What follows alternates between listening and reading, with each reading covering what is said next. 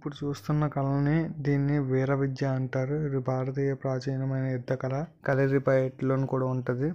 ఇది పరశురామ సృష్టించాడు అనమాట ఈ విద్య పేరు వీర విద్య అంటారనమాట ఇది వెపన్స్ ఇండియన్ వెపన్స్ అన్నీ యూజ్ చేస్తారు.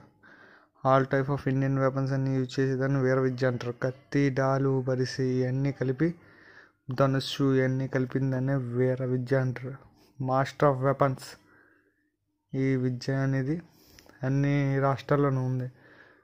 మన తమిళనాడులో అడిమురై సిలంబం అంటారు కేరళలో కలరిపాయట్ అంటారు ఆంధ్రలో కరసం అంటారు మహారాష్ట్రలో మర్దానికీలు అంటారు పంజాబ్లో గట్కా అంటారు. ఈశాన్య రాష్ట్రాల్లో దీన్ని తాంగ్ తా అని కొన్ని కొన్ని విద్యలో ఈ పేరు గల మార్షల్ ఆర్ట్స్ కూడా ఉన్నాయి. దీన్ని వీర విద్య అంటారు. ఇది చాలా రకాలుగా అస్త్ర శస్త్రాల మీద బేస్ అయి ఉంటుంది.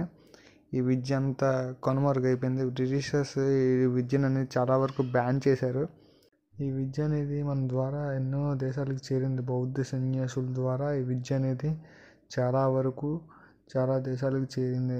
చైనా కానీ జపాన్ కానీ థాయిలాండ్ కానీ ఇండోనేషియా కానీ ఇవన్నిటికి ఈ విద్య అనేది మన ద్వారా పరిచయమైంది అనమాట ఈ విద్యని చాలా వరకు ఆర్ట్ ఆఫ్ వార్ఫేర్ వార్ఫేర్లో యూజ్ చేస్తారు. కాకపోతే ఇది మాంగ్స్ అనేవారు బౌద్ధ సన్యాసులు అనేవారు దీనికి కొద్దిగా ఆత్మరక్షణకి తమను తాను ప్రొటెక్ట్ చేసుకోవడానికి కొద్దిగా అప్డేట్ చేశారనమాట వెపన్స్ అనేదాన్ని శస్త్ర విద్య అంటారు. శస్త్ర విద్య అస్త్ర విద్య వీటిని అన్నిటిని వెపన్స్ యూజ్ చేసేదాన్ని అస్త్ర విద్య శస్త్ర విద్య అంటారు.